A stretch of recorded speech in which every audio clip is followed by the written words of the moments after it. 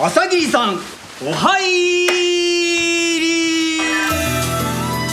おはぐろどぶに囲まれた吉原で生まれ育ちただひたすら男に抱かれ続けた。また開かざる者食うべからず。男の言葉を信じちゃいけない。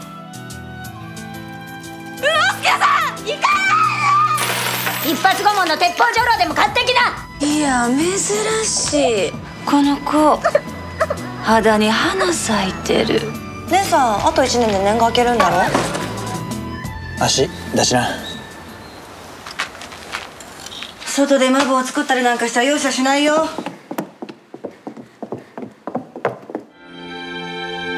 朝顔の花は幸せなのかしら？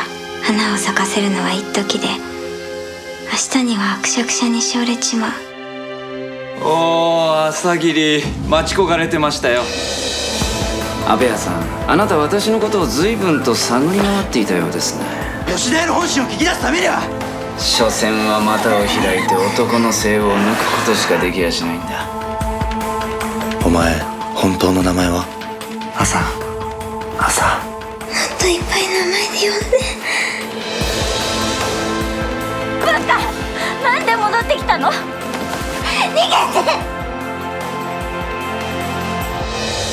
もっと花咲かせておくんなんし。